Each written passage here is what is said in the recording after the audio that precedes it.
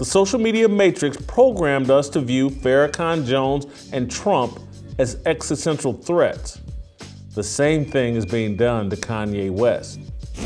A platform is a stage. Stages compel performance, acting. Big Tech and its social media apps constructed platforms for everyone with access to Wi Fi and a smartphone. Big Tech turned us into actors, inauthentic performers. When news happens, we rush to our platforms and channel Leonardo DiCaprio, Margot Robbie, and Denzel Washington. We act out the roles that we hope will garner the loudest applause in the form of likes, retweets, and follows. Over the last two weeks or so, we've all been playing roles in a movie about Kanye West, the rapper, fashion designer, and provocateur. He wore a White Lives Matter t shirt in Paris. He threatened to go DEFCON 3 on the Jewish people he blames for undermining him. He insinuated that George Floyd died from fentanyl, not Derek Chauvin's knee. Social media actors took to their stages and pretended West hijacked planes carrying nuclear bombs. They claimed his t shirt stunt denigrated black people. His Jewish comment fomented a second Holocaust, and his opinion about Floyd's death damaged the legacy of a heroic martyr.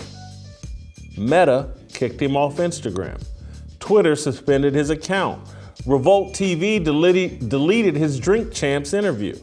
George Floyd's family threatened a lawsuit. For refusing to follow the script, the social media matrix is using its actors to justify the deplatforming and canceling of Kanye West. We've seen this all before. It happened to Louis Farrakhan, Alex Jones, and Donald Trump. The social media matrix programmed us to view Farrakhan Jones and Trump as existential threats. The same thing is being done to Kanye West.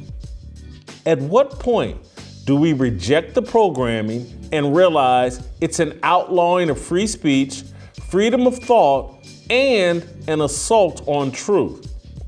Can't find the truth without free speech.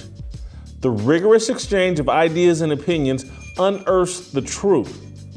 The platforms big tech constructed for us compel dishonesty. Athletes, celebrities, and influencers, and Joe Blow social media users many of them unwittingly, are using their platforms to lie. Let's use George Floyd as an example.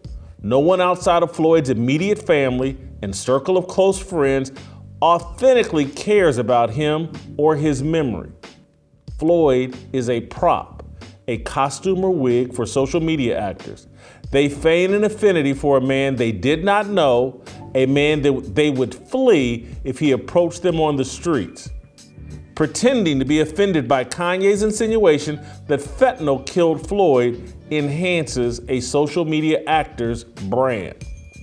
Here's what Kanye West actually said about George Floyd. Take a listen. I, watched the George Floyd documentary that Candace Owens put up. One of the things that his two roommates said was, they want a tall guy like me. They want a tall guy like me. And the day when he died, he said a prayer for you know, eight minutes. Mm-hmm. He said a prayer for eight minutes. They hit him with the fentanyl. If you look, the, the guy's knee wasn't even on his neck like that. When he said mama, mama his, is his girlfriend. They said he screamed for his mama. Mama was his girlfriend. It's in the documentary. Nothing he just said is offensive. It's not offensive. Anybody pretending to be offended is playing a role. How do I know this? Because in May of 2012, two Indianapolis sheriffs tasered and killed my cousin, Anton Butler. They did this in the pouring rain. I loved my cousin. I helped raise him. He spent summers with me in Kansas City. Several years, I bought his school clothes and Christmas gifts. His mother was my first cousin. We grew up like siblings. Anton was the smartest kid my family ever produced. As an adult, he was a lot like George Floyd. He did time in prison, he sold and used drugs. He had an incredible heart. circumstance undermined the direction of his life. Police claim sudden cardiac arrest due to cocaine intoxication killed my cousin. As a family, we dispute that explanation. Eyewitnesses that I personally talked to told a far different story than the police. I've written and talked about my cousin in the past. People have said to me via social media that my cousin was a criminal and died because of cocaine abuse.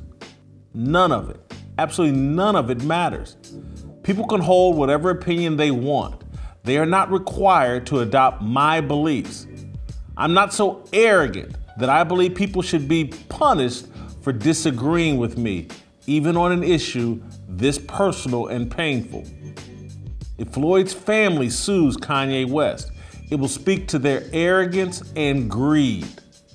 The people claiming that West's opinion on Floyd's death is an example of anti black racism, they're clueless and dishonest. The chief medical examiner testified during Chauvin's trial that the fentanyl in Floyd's system contributed to his death. Anyone who denies that drugs played a role in Floyd's decision to resist arrest and that his resistance contributed to his death is willfully ignorant. Or maybe they're social media actors campaigning for an Academy Award.